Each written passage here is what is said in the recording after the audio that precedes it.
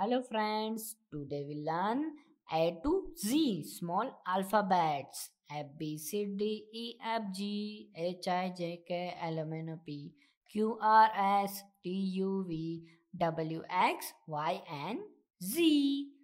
Let's start. It's a small A. A for apple. B.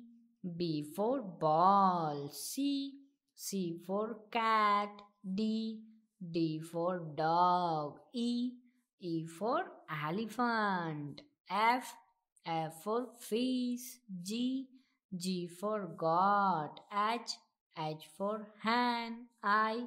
I for ice cream. J. J for jug. K. K for kite. L. L for lion. M. M for monkey. N.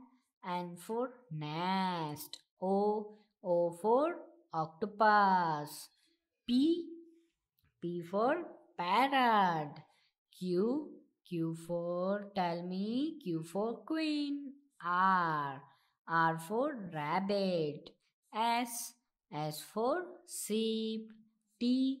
T for tiger. U. U for umbrella. V. V for violin. W. W for watch. X. X for xylophone. Y. Y for yak. Z. Z for zebra.